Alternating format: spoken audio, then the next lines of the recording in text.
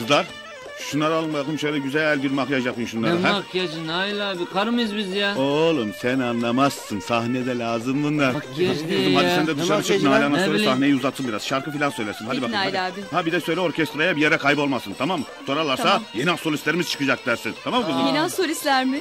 He kızım anlamazsın sen bundan. Hadi hadi hadi. Ha. Hadi bakın kızım sen de işine bak. Hadi hadi. Hadi geç geç geç. Şöyle geç. buyurun.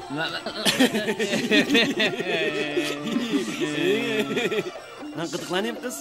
Ya Şey. gıdıklanayım kız. Adınız neydi senin acaba? Ulan birine de sakma birine de sakma be. Ne oluyor oğlum ya? Başımıza ne geldi senin boçukluğun yüzünden geldi zaten. Ben çok kıskanıyor biliyor musun? Ben ondan yakışıklıyım ya. Ne kıskanacağım lan ne Tamam kıskanacağım tamam lan. kavga Ne etmeyin kıskanacağım? ikiniz de çok yakışıklısınız tamam. Önce sizden başlayacağım yalnız sonra sizi alacağım. Müsaadenle.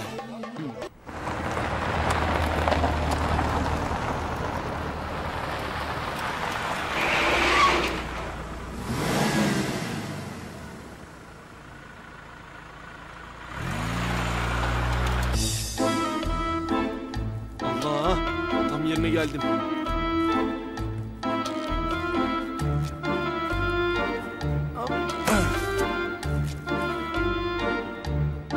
...24 saat açık çiçekçi şuraya bak. Acaba hangisinden başlasam koparmaya? Hangisinden alalım?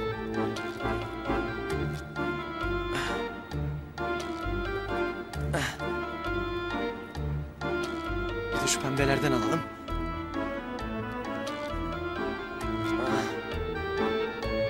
O renkleri de uydu. Güzel oldu ha. Şu şebboydan da koparalım. Heh. Güzel oldu. Kim uğraşıyor bunlarla bu kadar acaba? Bir de bal arısı maya gibi böyle sabahtan akşama kadar çiçeklerle, bahçeyle, otla, gübreyle uğraşan adamlar vardır değil mi ya? Bütün işleri güçleri budur. Çiçeklere çocukları gibi bakarlar. Onlarla konuşurlar. Klasik müzik falan dinletirler. Hatta bir de onlara isim falan takarlar ya. Ya insanlar gül gibi, lale gibi, nilüfer gibi kendilerine çiçekten isim takarlarken biz gidip çiçeğe insan ismi takıyoruz abi iyi mi ya? Ya mesela bu. Bunun adı zaten Açelya. Dünyanın en güzel ismi. Şimdi buna durup dururken Emine gibi, Fatoş gibi, Taylan gibi, Kaan gibi isim koymanın ne alemi var ya? Senin adın ne bakayım? Hıps! Çok yaşa. Sen de gör. Kaldır ellerini pis hırsız. Hırsız mı? Nerede? Ha. Böyle hırsız yani. Kaldır ellerini. Kaldır dedim sana.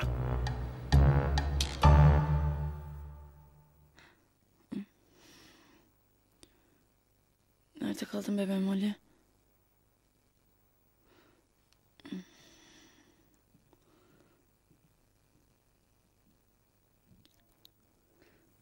Televizyon. Nereden açılıyor bu?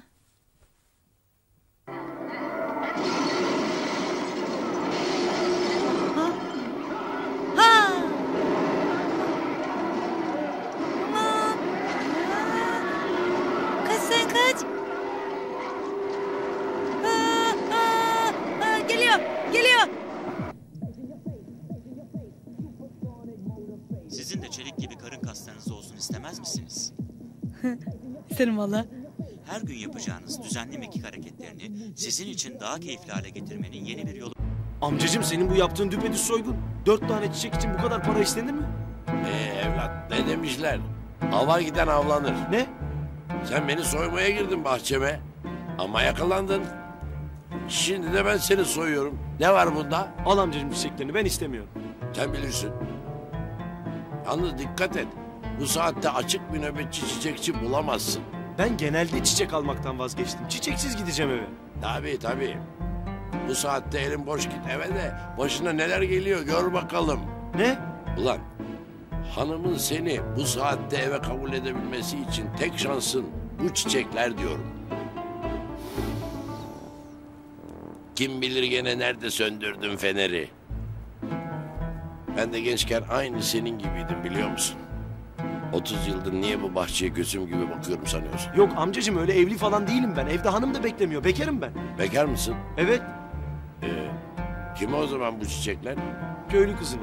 Köylü kızına mı? Boş ver uzun hikaye amcacığım. Uzun hikaye ha. Benim bildiğim eğer bekar bir adam gecenin bu saatinde bir demet çiçek için hiç üşenmeden duvarlara tırmanıyorsa bu iki şeyin işareti olabilir. Ya o adam zır delinin tekidir Ya da amcacığım? ya da sırılsıklama aşık demektir. Ne? Ee, aslında ikisi de aynı şey biliyor musun evlat? Deli gibi sevmek derler ya. Biraz deli olmadan sevemez ki insan. Yok amcacığım ben sadece bu... Hadi hadi al bu çiçekleri. Götür o köylü kızına. Ama Para falan istemiyorum. Al hadi. Bir çiçek ya dalında ya da sevdiğinin saçında güzeldir demiş şair. kimmiş o şair amcacığım? Benim.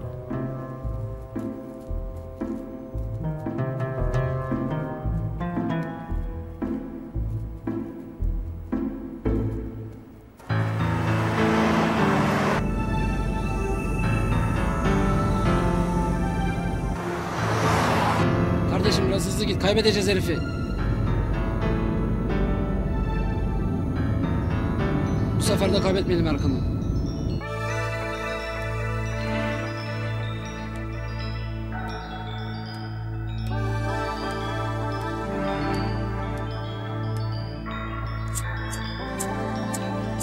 Ver şunu beceriksiz. Bir şey de becerebilseniz.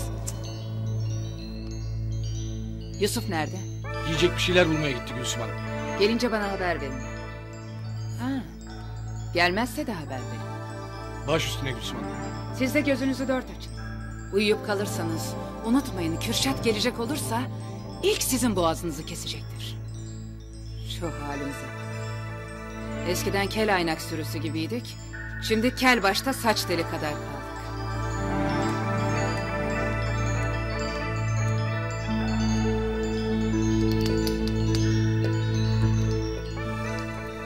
Siz niye uyumuyorsunuz hala?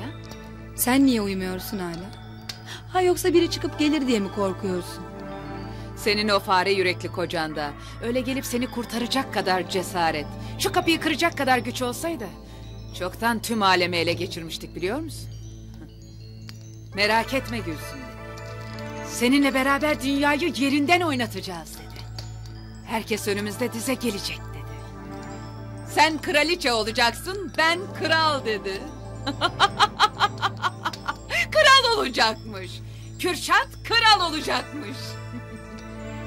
Her defasında çarşafa dolanan, her savaşta başı eğik sarayına dönen, her denizde batıp boğulan bir kralın ülkesinin halini düşünsenize bir.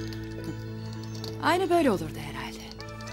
Aynı şu andaki sefil, kaybolmuş, silinmiş halimiz gibi olurdu herhalde. Ben yine de bir şey anlamıyorum. Madem bu hale onun yüzünden düştün. Madem hep kaybeden bir beceriksizin, bir güçsüzün teki o. Nasıl oluyor da sen böyle sefil bir halde, duvar diplerinde sinir krizleri geçirerek yok olurken, korkudan gözüne uyku girmeden böyle lağım köşelerinde saklanırken, o nasıl oluyor da hala dimdik ayakta durabiliyor? Nasıl oluyor da seni hala bu kadar korkutabiliyor ve nasıl oluyor da kedi kaçıyor? Ama o bir fare olduğu halde seni kovalıyor. Hiç anlamıyorum biliyor musun?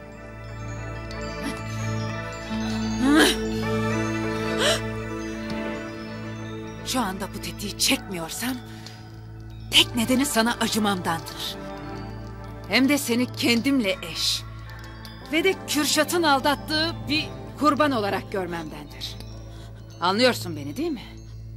Onun için yerinde olsam ben de en az senin kadar nefret ederdim o Kürşat olacak sahtekardan. Eğer bir an için senin hala onun tarafını tuttuğunu hissedersem bu senin için hiç iyi olmaz. Bu senin için hiç iyi olmaz. Kanalımıza abone olarak tüm videolardan anında haberdar olabilirsiniz.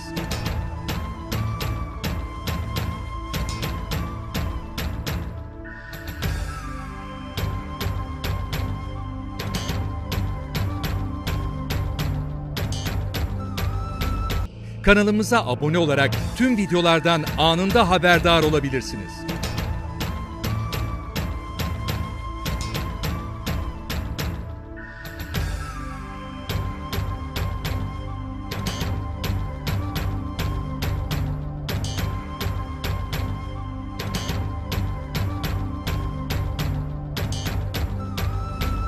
Kanalımıza abone olarak tüm videolardan anında haberdar olabilirsiniz.